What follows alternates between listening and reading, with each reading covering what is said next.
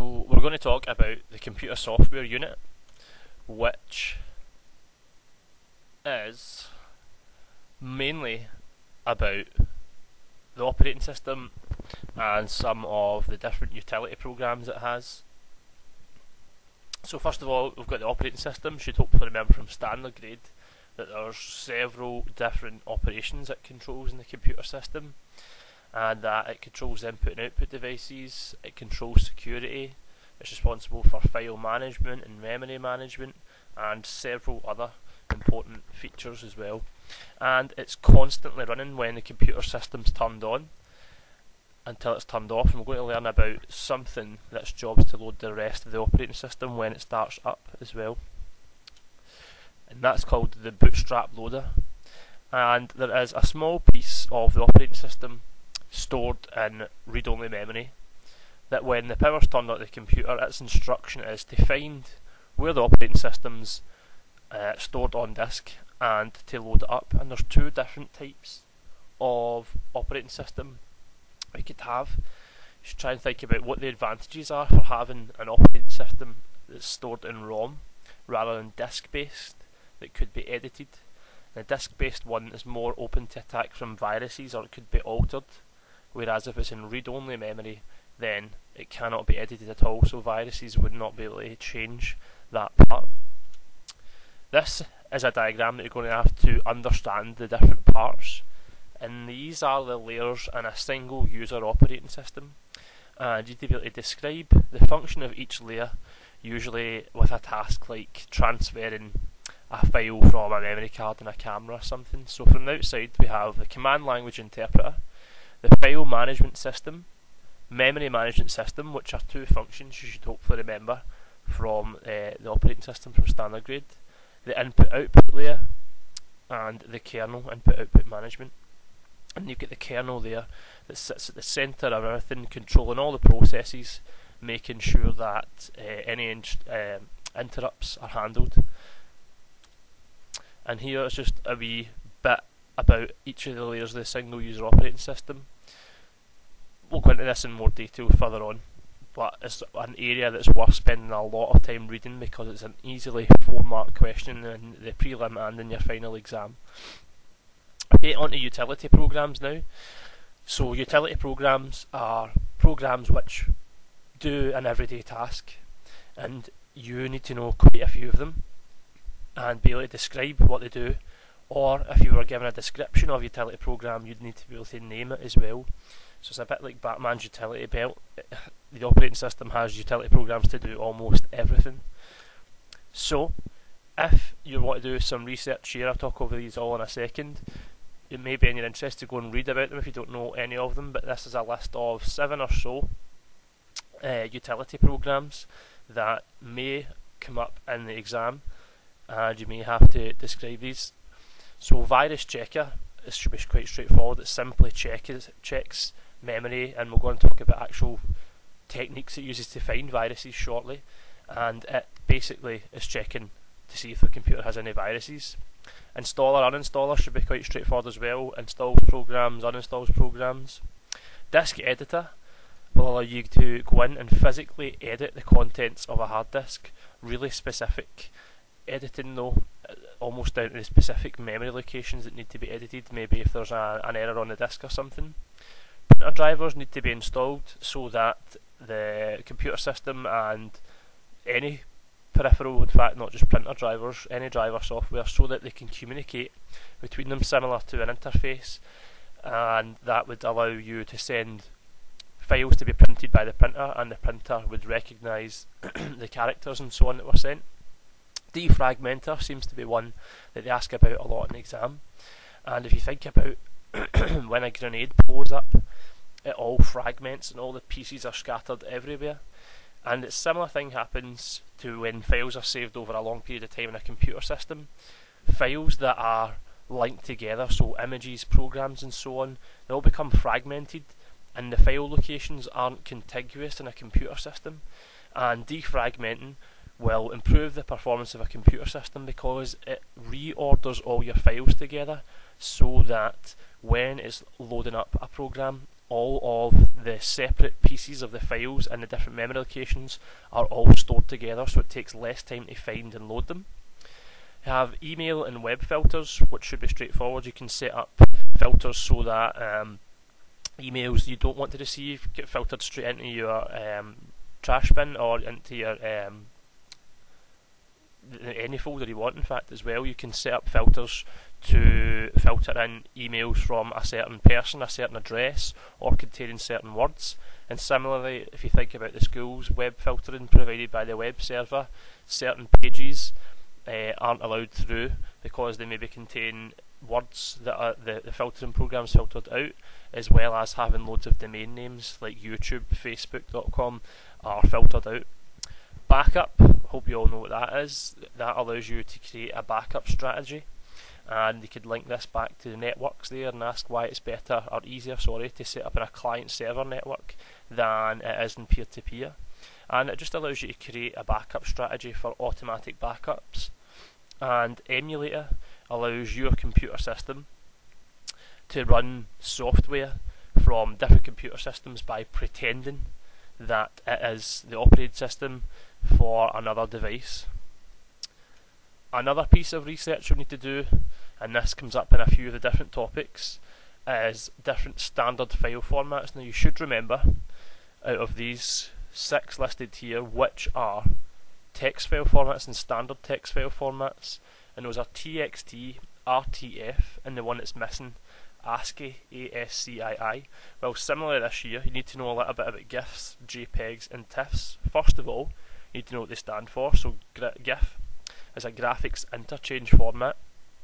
JPEG is Joint Photographic Experts Group, and TIFF is Tagged Image File Format. Now, you need to know a couple of facts about each of them. So, how many colours they represent, uh, what type of compression technique they use, and any other facts about them. In particular, TIFF has one wee extra piece of information that they want you to know about it. So this is what you need to know about graphic standard file formats, and that is this: that GIFs are 8-bit, generally used on the internet, and they use lossless compression. JPEGs use lossy compression they allow up to 24 bit true colour uh, images, and because they're lossy, you can have smaller file sizes than an equivalent GIF. And TIFF is a bit different as well. Uh, they would say that it can be an uncompressed format, and that is raw, and it just stores everything, but it does have different compressions. Can store up to true colour, and also it's capable of storing a transparent colour as well. So if you've ever used any um, more advanced image editing software, you'll see there's a transparent colour can be used in images, and it lets the colour from behind uh, appear through. Okay, an important task that you should do is to find hardware and software to do each of the following tasks. So the first one is produ production of a multimedia catalogue. So what hardware and software do you need for that? And the same again to set up a LAN in a school and to develop a school website. So if you want to do that research task if you pause the video here and come back and look and see if you found the same programs as I have listed here so for producing a multimedia catalogue we would use HyperStudio or Macromedia Director which are both programs that allow you to create multimedia catalogues using images, uh, sound clips, movie clips, etc. What software for setting up LAN in schools? Well, there's a couple of different ones we could use for different tasks. Windows Server from Microsoft allows us to create a structure of client server networks, and FileMaker Pro is an advanced databases application which allows you to create the um, file structures which require the hierarchical filing structure that you would get in our RM shared area, for instance. And for developing a school website, there's tons of different software you could choose. A couple here, FrontPage from Microsoft or Dreamweaver, are both uh, web design um, applications to allow you to create websites.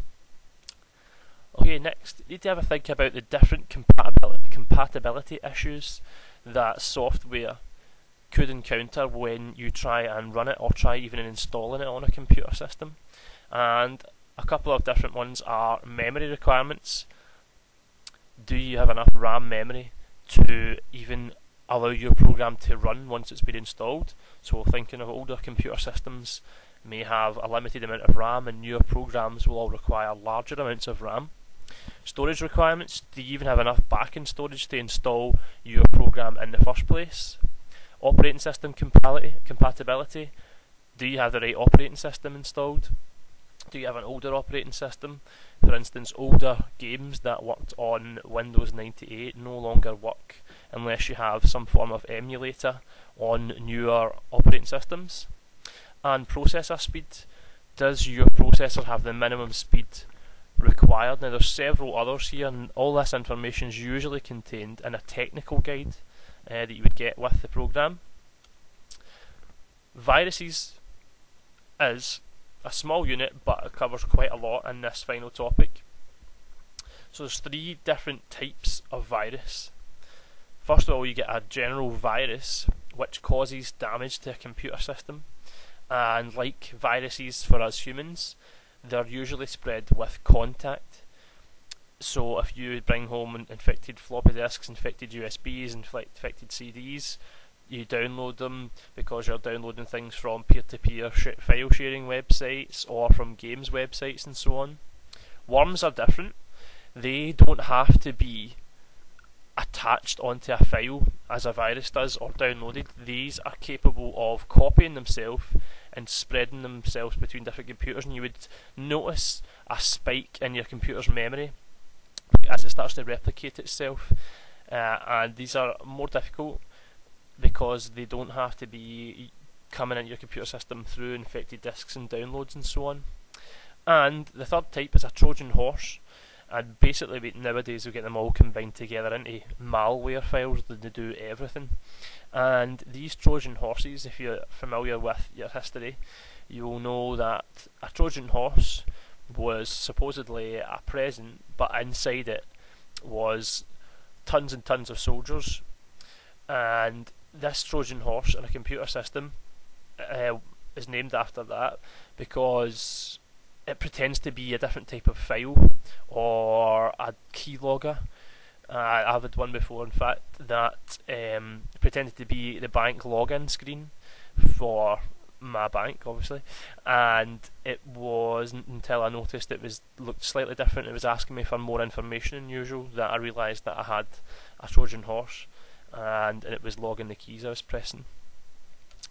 Okay, viruses, you need to know some of the virus actions that they carry out uh, once you have become infected or once your computer system has been infected. So replication is quite simple straightforward. And the virus makes copies of itself.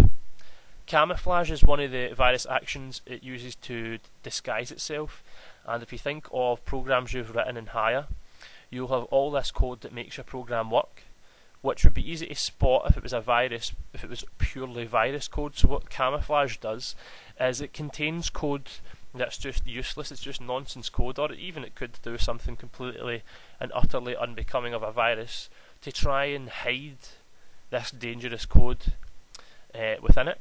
Watching is when a virus uh, will specifically wait for actions, for instance, a time bomb virus that will, will sit dormant on a computer system waiting for a specific time or a specific event to appear. For instance, that last virus I was saying about the Trojan horse obviously had waited until I had logged into the bank uh, before it had logged up the keylogger screen. Um, delivery is the method it uses to enter your computer system. So it could be from downloading from um, torrent websites, it could be attached itself onto a file that you've executed and inadvertently restarted the virus. And this is another good area to do a bit of reading on because the exam look for good descriptions here.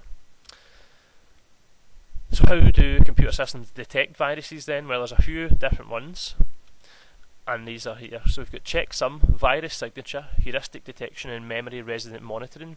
So if you want to do a wee bit of your own research, you could pause it here and then I'll tell you about them. So checksum is quite similar to the check digit you may have learned about in standard grade, and that is a calculation that they would do on uh, an application file, and it will store the result it gets for that calculation now later on the virus checker will carry out that same calculation on that file And if the sum it calculates is different, then it will flag that up to you as possibly being a virus. Now it's a virus checker, it doesn't delete it, it only tells you about them. Virus signature, and none of these are going to appear in the correct order. Virus signature is where it searches through files for characteristic codes that it knows to be malicious. Now, this is why you need to make sure your uh, virus definitions are up to date because all the time new viruses are coming out. If your definitions aren't up to date, then your program will not be detecting the latest malicious code. So, for the virus signature, it basically works a bit like spell checker, and it's got a dictionary of all of these dangerous actions and dangerous pieces of code that it looks for, and if it finds these, again, it flags it up. Heuristics, heuristic detection, are rules of thumb that would say, what does a virus do? For instance, if you see something that was yellow and it quacked, you would say it's a duck.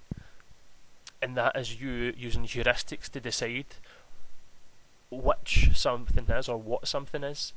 And it's the same idea here. If a file is trying to stay in memory after it's been executed, if it's trying to access file locations it, it shouldn't be, if it's trying to stay in memory after it's been used, and so on. These are all heuristics who'd say, okay, it's behaving like a virus, so the chances are it may be a virus. It doesn't mean it has to be, but it's an alarm bell that's set off with your virus check and it tells you about it. Memory resident monitoring is a bit like a bodyguard on your RAM memory, in that it checks if programs aren't trying to stay in main memory after they've been closed or they're trying to access different file locations and so on that they shouldn't be. Again, this is another important area to go and spend a bit of time reading over to really understand the different detection techniques.